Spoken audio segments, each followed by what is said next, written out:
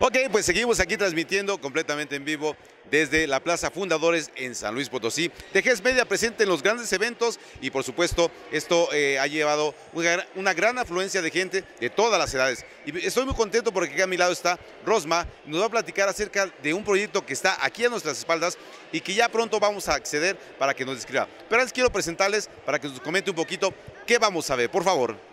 Sí, hola, muy buenas tardes. Pues la idea es justo presentarles nuestro stand. Yo soy de la Facultad de Ingeniería de la Universidad Autónoma de San Luis Potosí y bueno, a lo largo de esta semana hemos tenido 10 grupos de divulgación invitados en donde su tema y su eje central es la relación de las ingenierías con el agua. Entonces por ahí tenemos este, varias sorpresas, son cuatro estaciones y los invitamos a pasar para que disfruten. Bueno, pues ya lo dijiste, Rosma. Vamos, acompáñenos por favor para conocer qué hay aquí adentro. Bien, Rosma, pues ya estamos aquí en el primer, en el primer módulo, por así llamarlo. Y mire, tenemos aquí estas chicas guapas. Pero eh, antes, lo primero que se me viene a la mente es eh, presentarlas para que me digan su nombre, por favor. Aurora. Lucía. Anabel. Oigan, ¿por qué esta vestimenta, no, no extraña, pero característica típica en un, en un evento de ciencia y tecnología? ¿Por qué? Bueno, precisamente por lo que es el evento de ciencia y tecnología, el steampunk, que es lo que venimos vestidos, se caracteriza, pues, se caracteriza por utilizar este, objetos de la ciencia ficción, tecnología. Son, se abarca lo que es la época victoriana y la época eduardiana. Entonces fue donde se dio todo el auge de la ciencia y tecnología a partir de la época de la revolución industrial. Perfecto. ¿Y esto que tiene en las manos para qué, chicas? Cuéntenme, la que guste de realidad virtual, digo realidad aumentada, lo que buscamos es que a través de imágenes en 2D, que son unos códigos en blanco y negro, a través de un programa en la tableta se puedan ver imágenes tridimensionales. Perfecto. Ustedes que han estado estos días participando en la feria, eh, ¿qué les ha parecido la, la impresión de los niños, de los jóvenes, todos los visitantes que han estado por aquí? Pues les llama mucho la atención. Muchos de ellos no sabían lo que es y pues al verlo por primera vez se emocionan demasiado, les interesa mucho el tema. Perfecto. Bueno, chicas, pues, eh, Rosma, si no tienes algo más que comentar, eh, seguimos avanzando, tú dime. Bien, Rosma, pues ya llegamos a otro punto y ahora ya tenemos una nueva invitada. Por favor, preséntanos a tu compañera. Sí, mira, como te comentaba, son diferentes grupos de la facultad, en este caso ellos son los agroinautas, y su líder es Pati Díaz y ella nos va a platicar qué, hicieron durante todo el día en estos dos módulos. A ver, Pati, cuéntanos, ¿cómo te ha ido? ¿Qué están haciendo en esta parte? Claro que sí, mira, aquí estamos hablándoles de la actividad del agua en alimentos. En la actividad del agua estamos refiriéndonos al agua libre que hay en los alimentos y que es susceptible de contaminarse por microorganismos. Entonces, de este lado les explicamos cómo podemos controlar esta actividad del agua a través de métodos como es la concentración, la deshidratación y de aquel lado les explicamos qué microorganismos pueden atacar a los alimentos, pero además que también nos pueden beneficiar tanto en los procesos alimenticios como para el crecimiento de las plantas. Suena muy interesante. Pati, nos acercamos y nos vas describiendo, por favor, ¿qué tenemos aquí? Claro que sí, bueno, aquí tenemos la fruta, eh, fruta fresca, y aquí ya tenemos la fruta deshidratada. Eh, aquí básicamente les estamos explicando eh, lo que es el proceso de deshidratación. Existen tres procesos de deshidratación, que es el secado, el natural al sol, tenemos deshidratación por convección y por aspersión. Y acá les mostramos cómo la fruta realmente se rehidrata y recupera sus propiedades y queda igual. Eh, de hecho, si nosotros consumimos fruta seca es muy dulce, pero al rehidratarla nuevamente vuelve a ser eh, con sus características de textura y dulzura normales. Y bueno, pues ya de aquel lado tenemos los microorganismos. Seguimos avanzando mientras tanto. Muchas gracias, Patti. Seguimos, Rosy nos acompaña.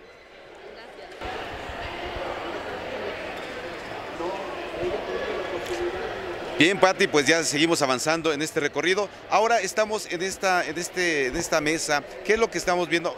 No se puede apreciar, obviamente, desde, desde nuestra cámara lo que tenemos en el microscopio, pero sí nos puede explicar qué hay ahí. Claro, mira, aquí tenemos la imagen de lo que son micorrizas. Estos son eh, unos hongos que nos ayudan a, asimilar mejor el nitrógeno en las plantas. Y esto, bueno, obviamente es un nutriente que nos va a favorecer a su crecimiento. Aquí además les presentamos, tenemos otras laminillas que ahorita no están proyectadas en el microscopio, pero también tenemos lo que es el Rhizopus, que también es un microorganismo benéfico, pero tenemos algunos que son eh, patógenos en los alimentos, como es Clavibacter, Penicillium, Aspergillus y Cándida. Aquí lo interesante de Penicillium Es que es patógeno para los alimentos, pero de ahí extraemos la penicilina. Perfecto. Oye, Patti, de verdad que es, es, muy interesante esto que nos mencionas. ¿Cuál ha sido la respuesta de la gente que ha, ha, tenido la oportunidad de acompañarlos en este recorrido? Bueno, pues ha habido mucha emoción. De hecho, ahorita se despedía de nosotros una señora que nos felicitaba, incluso felicitaba a la facultad y decía, le encantó, bueno, todo el proceso, la decoración, todo. Estaba muy contenta ella. Me dice que los alumnos están muy bien instruidos para explicar todo esto. Perfecto. Muchas gracias, Patti. Hay mucho que ver todavía, así es que te dejo. Bien, pues ya, después de este arduo recorrido, Rosma, ya estamos llegando eh, a este, a este barco, ¿verdad? Platícanos, ¿qué vamos a encontrar aquí? No, pues primero súbanse y estamos todos a bordo y la idea es encontrar un recorrido muy padre que van a hacer los alumnos de, de, computación informática y su líder en este caso, el doctor Héctor Pérez, nos va a platicar de qué trata este viaje. Héctor, por favor, acércate con nosotros. Hola, ¿qué tal? Eh, nos gustaría que nos contaras un poquito de qué trata este proyecto, a qué se refiere, cómo funciona. Claro, esta es una nueva manera de abordar los temas de divulgación utilizando tecnologías de la información. En este caso utilizamos los conceptos de realidad aumentada y realidad virtual. En este caso en particular, aquí arriba de nuestro barco, el UASLP Ingenius de la Facultad de Ingeniería, los llevamos por un viaje hacia el fondo del mar para detectar basura y con el poder de la mirada destruirla y con eso concientizar a todos nuestros amigos invitados en que ya no tiremos basura porque nos estamos acabando nuestra ecología.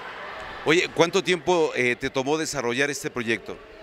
En general uh, abordamos desde que nos dijeron el tema aproximadamente unas ocho semanas. El primero fue analizar exactamente qué es lo que se necesitaba. Diseñamos el software y luego lo probamos para ver si eh, cumplía con las, eh, con las características de jugabilidad, que no fuera aburrido, que fuera un reto. Uh -huh. Y que no solo eso, sino como nosotros conocemos aquí en, el, en la ciencia del software, que fuera eh, un juego serio en el que no necesariamente sea solo divertirse, sino también aprender o concientizarse de algún problema, en este caso el de la contaminación. Por supuesto. Oye Héctor, me gustaría, voy a, a interrumpir porque sería difícil transmitir lo que están viendo, pero ¿qué, qué, qué tal si ella nos narra qué es lo que está? Voy a atravesarme por este lado. Aquí tenemos a una participante. Hola amiga, me estoy acercando a ti. Eh, te voy a pedir por favor que nos digas tu nombre. Sí, mi nombre es Marisela. Marisela, oye, cuéntanos tú que estás viviendo esta experiencia, nárranos un poquito, ¿qué es lo que se ve que nosotros no tenemos oportunidad? Bueno, ahorita nosotros estamos viendo una pantalla que nos habla del viajero, bueno, dice viajero del agua, aborda la UASLP Ingenius, dirigiendo tu mirada al botón de landa. Eh, tenemos que estarlo mirando tres, eh, por tres segundos. Ok. Mm, mm, mm. Estamos viendo, bueno, un barco se ve, se ve el edificio central, se ve al lado un barco.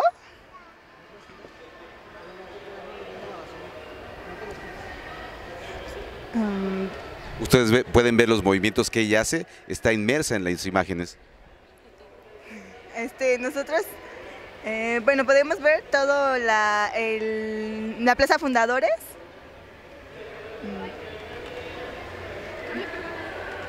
tenemos que recoger. ¿Hay oportunidad de pescar, oye? Eh, no, estamos como buscando basura, como para poderla eliminar.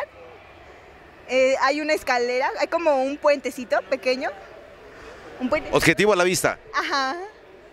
Sí, hay un puentecito.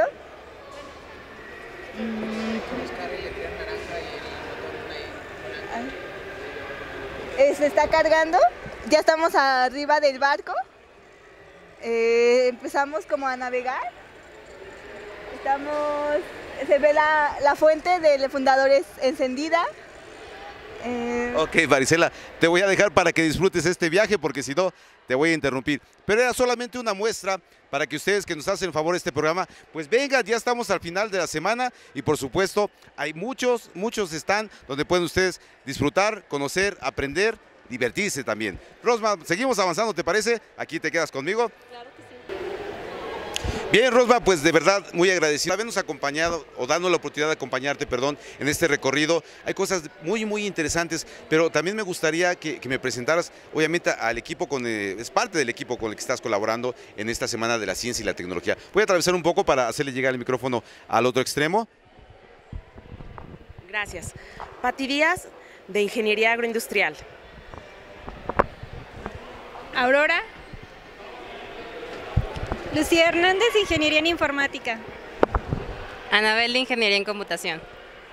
Héctor Pérez, un saludo a toda el área de computación e informática.